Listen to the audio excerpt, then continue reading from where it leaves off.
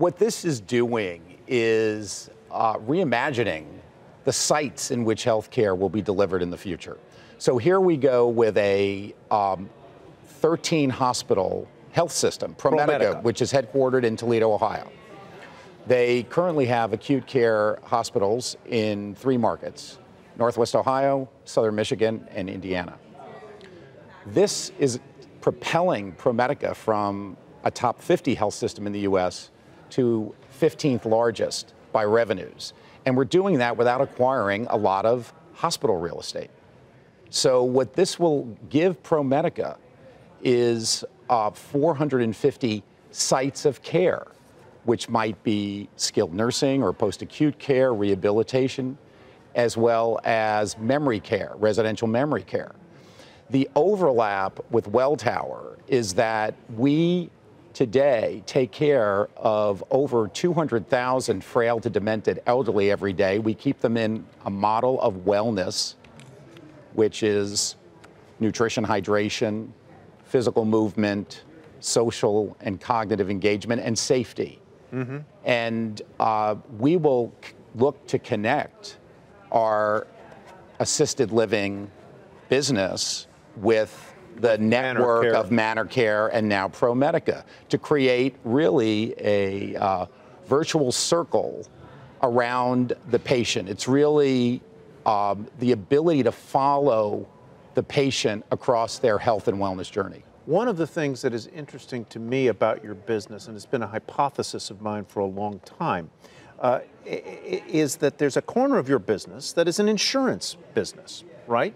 Of ProMedica's business. Of ProMedica's yes. business. Yes, they have so, a company called Paramount. Paramount. So I can buy my healthcare coverage from them. That's correct. And also my delivery from them. That is correct. And that is like a Kaiser Permanente, it's like UPMC, University of Pittsburgh, it's like Hopkins and so forth. Is that the future where I go one place to buy my insurance that is also the place that owns my medical the medical practice I frequent, the hospital I go to, the rehabilitation center I go to? I think that is the future. And we call that we call those health systems payviders. Mm-hmm. Kaiser was really the, the first of the payviders.